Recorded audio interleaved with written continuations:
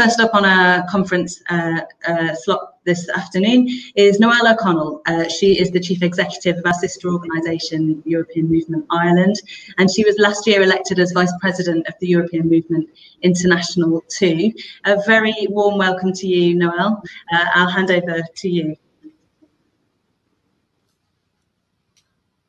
Thank you very much, Anna. Thank you for the invite to, to speak to you today. Uh, I've, I've, probably drawn the short straw, uh, ladies and gentlemen, in, in being the first speaker up after after the, the lunch hour. But I'm going to do my best uh, to uh, engage with you, and I'm delighted to be addressing EMUK's annual conference. And as Anna mentioned, I'm speaking to you today wearing a number of different hats. I'm the CEO of, of European Movement Ireland.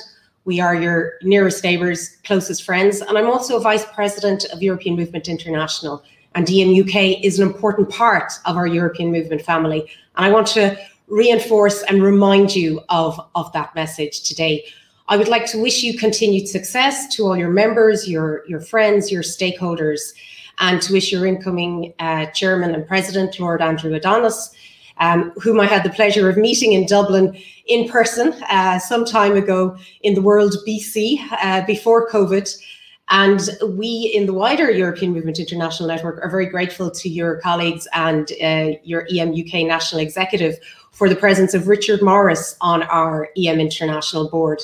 Richard's wise insights, his commitment, and his dedication are very much valued by all of us in the European Movement uh, International Network. So this session is centered around where do you go next? How do we build bridges, not barriers? And I would like to commend you on that. I think this is important and timely. Uh, Anna was mentioning to me that over 3,000 uh, people have registered for your conference today. That is truly incredible and staggering and is arguably one of the largest pro-European memberships and engagements across the wider EM network. And I think the challenge is for you is to how do do European Movement UK use that international network of the wider European movement family that predates uh, the very membership and foundation of the EU. In fact, I, I'm, I don't need to remind this audience, but Ireland and the UK both joined the then EEC alongside Denmark in 1973. And your passion and your strength of feeling, it's very much needed. And it must be harnessed to keep relations strong in spite of the challenges and uh, the tension, perhaps, that has crept into the current state of play. The best solution for despair, I think, is co constructive, practical, engaged, proactive action.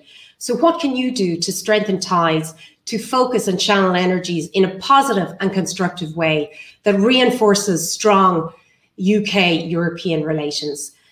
I think you have an opportunity to elevate the vision because in Europe, everything is possible.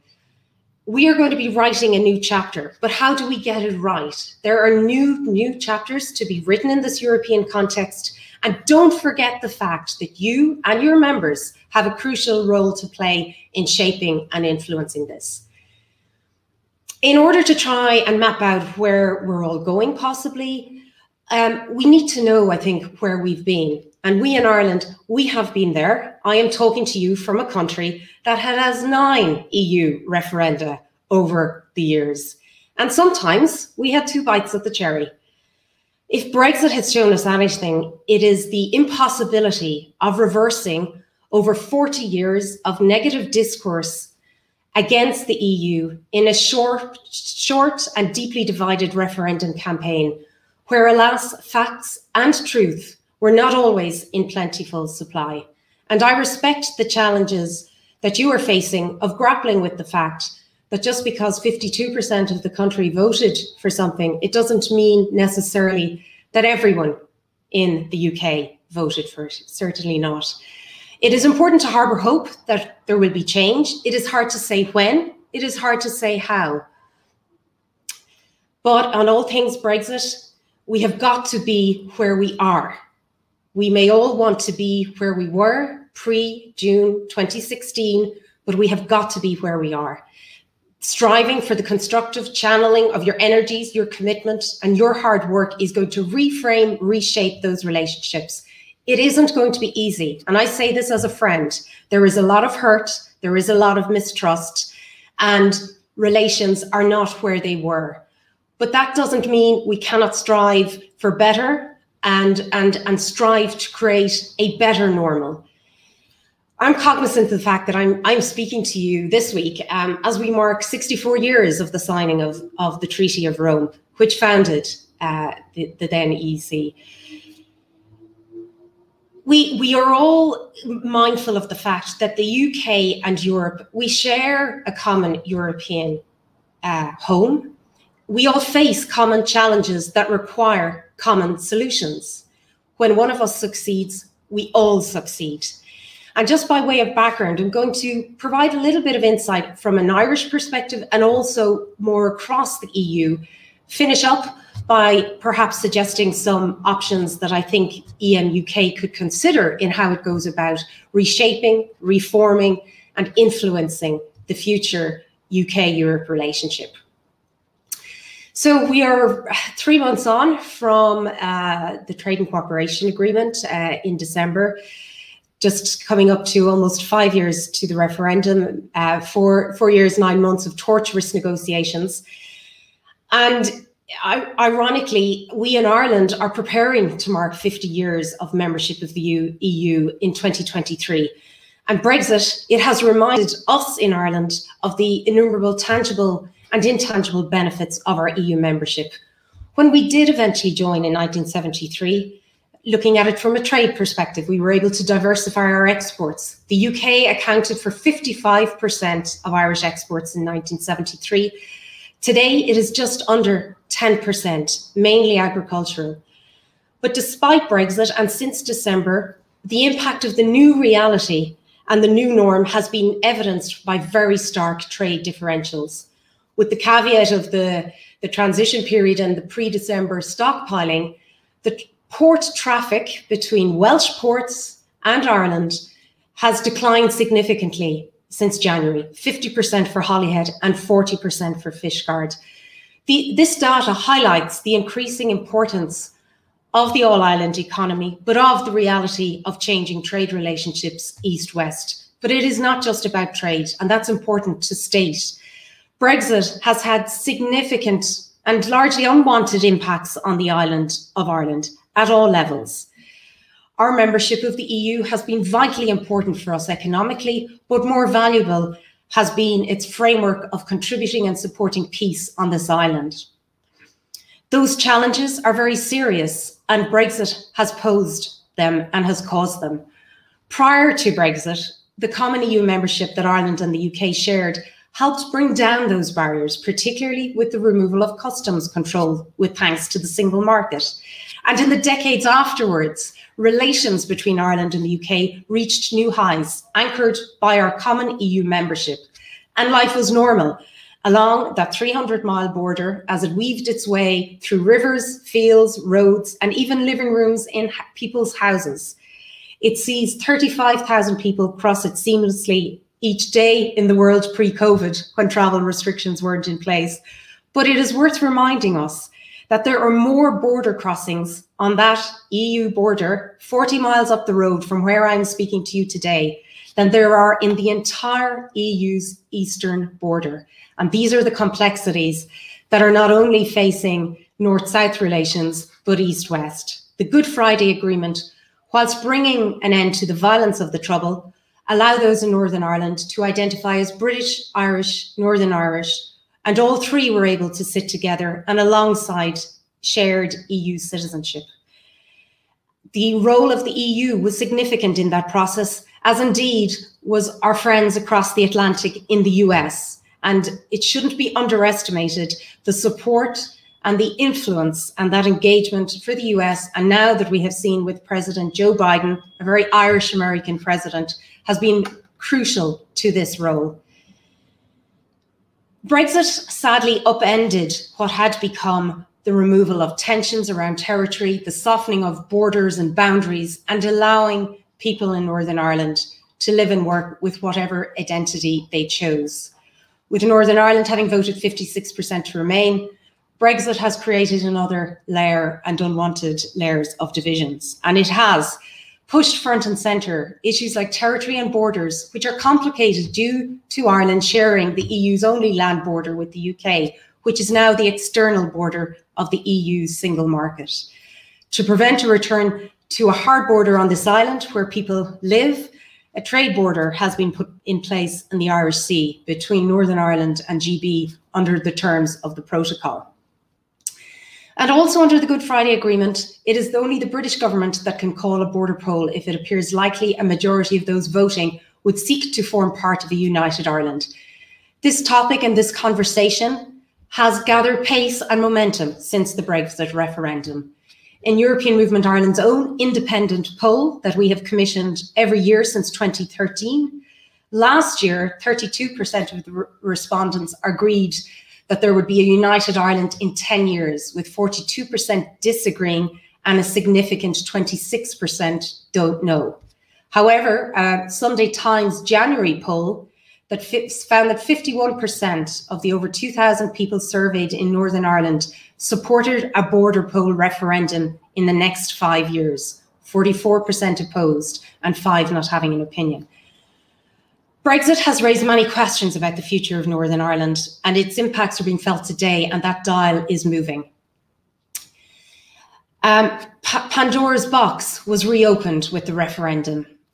As I reminded our British friends when I was in London speaking and sharing the Irish experience of our nine EU referenda, it is impossible to reverse 40 years of negativity in a campaign of a couple of months. I respect and I recognize that the UK has always had a different and unique relationship with the EU than we in Ireland have. For us joining a union with 27 member states, it's about sharing and pooling our sovereignty in order to enhance it. For us, it's not binary.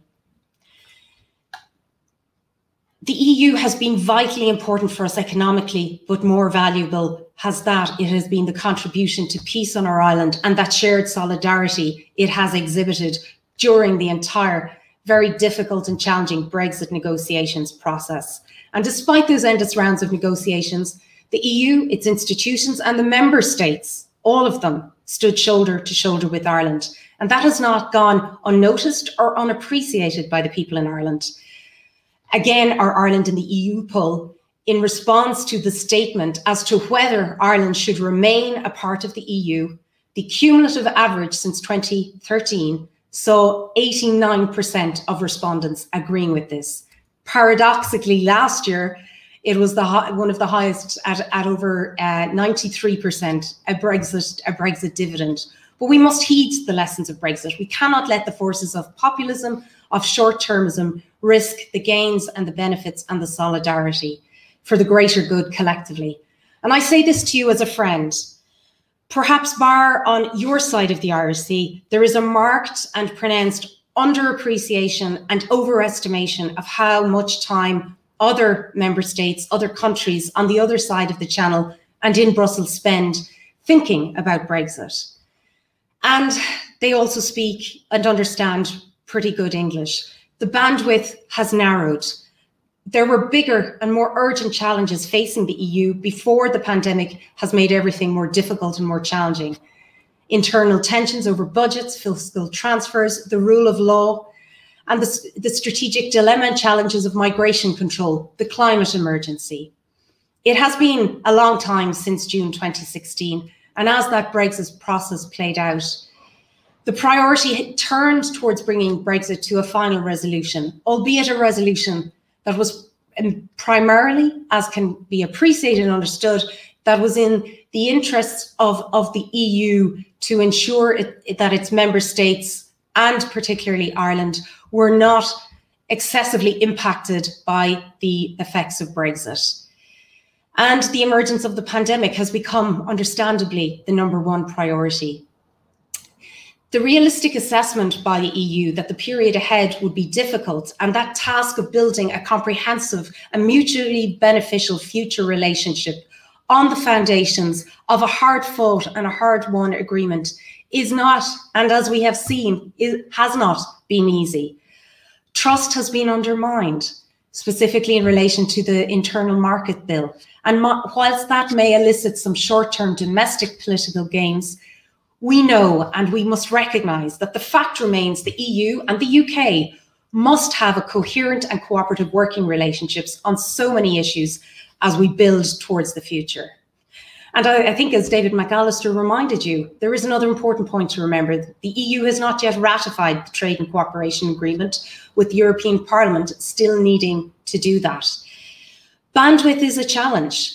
The EU has the pandemic. We are beginning to launch a conference on the future of Europe. The German elections in September will see uh, Chancellor Angela Merkel leave politics after 16 years. The upcoming French presidential elections. I could go on listing other issues, but the key point is there is a huge amount of challenges facing the EU at the moment. And the UK relationship, it is a priority, but it is not the sole priority. It is not item one on the agenda. In Ireland, we are more optimistic. We place high importance on our bilateral UK relationship, and we recognise and we are going to be striving to work for a productive and mutually beneficial relationship between the EU and the UK in the interest of both parties. And we see ourselves as being in that position of facilitating that process, even if it does take some time. But we are clear in Ireland that our future lies within the EU. And a bit like Monty Python in the life of Brian, we haven't yet had the proper chance to analyse what the UK ever did for the EU. Quite a lot. Relief, reluctant acceptance at finalising the divorce, and the need with getting on with other things has meant that we haven't had the challenge, the chance to look at what we will miss with the UK no longer a member. Smaller member states, Ireland primarily, used to rely and depend on the UK, championing openness, less protectionism, pragmatism, your expertise. And removing the UK voice at the seat at that table means that the conversation and the inputs will be not will be will be different and not the same. And we must look at the recovery from the COVID pandemic congratulations, the UK is absolutely uh, playing a blinder, as we would say, in terms of its vaccine rollout, and you are to be commended. But what we equally have seen is that we cannot allow vaccine nationalism to take hold. We are in a race and, a, and a, a battle to save the human race, not a row to save face over, over vaccines and the, the speed of rollout. The population of Ireland is, is, is less than the combined population of the two cities of Birmingham and Manchester. Um, so the challenges of us being able to procure vaccines, um, we would not have had the same economic heft as a large country like the UK or Germany or France would have population size wise. Vaccines, it's not a lose lose because when we succeed, we all succeed. And the EU is important in that regard. Um, for the future, I would say to you, in terms of the conference and the future of Europe, for you and the UK, EMUK, you have an opportunity to, to capitalize on your goodwill, expend capital, engage, forge a new path, work harder to make your voice heard, use that conference on the future of Europe. You are a great country. We are friends and allies. We always will be. You have an opportunity to reframe the new relationship. And rest assured that your friends in Ireland, despite all the ups and downs, despite all the challenges, the bluster, the noise, and, and the frost that on occasions permeates the relationship, please know that we will always keep a candle lit and light on for our UK friends. Thank you so much, Noelle, for that um, important important contribution.